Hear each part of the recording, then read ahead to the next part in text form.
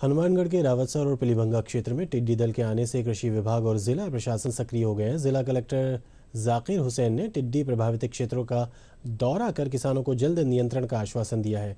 वहीं दूसरे किसान अपने स्तर पर बाल्टी, थाली, पटाखे, ट्रैकर का साइलेंसर हटाकर टिड्डियों को उड़ाने का प्रयास भी कर रहे हैं। हनुमानगढ़ ज़िले में कल से जो है वो टिड्डी दल ने प्रवेश किया है। कल मुख्य पल्लू जो क्षेत्र है, उसके गाँव मायला और बिजानी वाली में रात को इसने प्राव डाला था।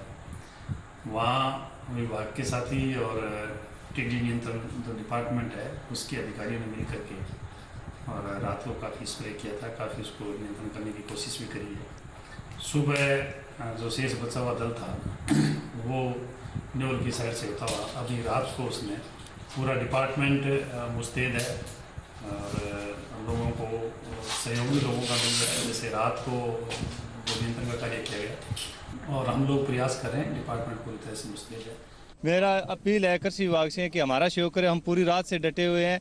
रात में भी खेतों में ग्राम पंचायत छेटार के वहाँ से होकर के आए थे। अब गाँव खेदासरी में लग रहे हैं। हम झुंड को हमारा प्रयास है कि यहाँ पर बैठने नहीं देंगे। अगले गाँव में जाती है, अगले ग्राम पंचायत को हम सूचना देते हैं। इससे मैं कृषि विभाग से अपील करता हूँ कि हमारा जो हरजाना है वो सरकारी तौर पर दिलाने का Sorry,